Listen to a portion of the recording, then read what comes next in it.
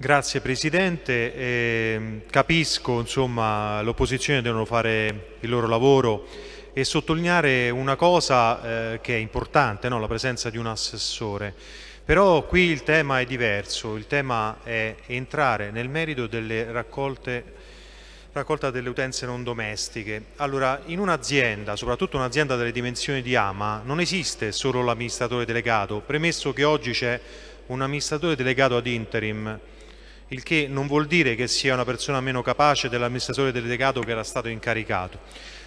È vero, la raccolta utenze non domestiche non è partita nel migliore dei modi e subito la Commissione Ambiente e la Commissione Commercio hanno iniziato a lavorare per recuperare tutta quella serie di eh, problematiche che le associazioni dei commercianti e i cittadini lamentavano e nelle numerose commissioni che abbiamo tenuto abbiamo approfondito queste problematiche e stiamo agendo per ricondurre al rispetto del contratto dedicato eh, tutti i vincitori di bando prestatori.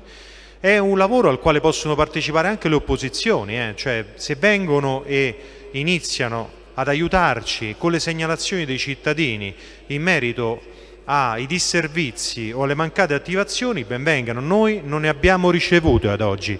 Anche questo è uno dei modi in cui le opposizioni possono cooperare. Hanno sempre detto di volerlo fare, ma io non ne ho assolutamente evidenza.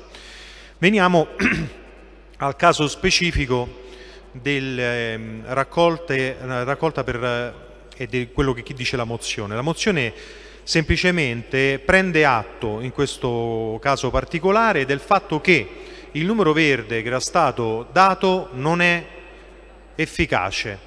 Abbiamo chiesto un numero verde dedicato, abbiamo chiesto un'app, un'applicazione da dare ai eh, commercianti che ci possano segnalare eventuali disservizi perché oggi AMA deve esercitare una funzione di controllo al di là di quella che gli stessi prestatori esercitano, ma non può effettuarla a tappeto. Questa app sarebbe fondamentale nel coadiuvare AMA nei controlli necessari per il rispetto dei contratti, quindi non vedo cosa ci sia di eh, non percorribile in questa mozione sacrosanta che ogni persona di buon senso e buona volontà dovrebbe votare favorevolmente. Grazie.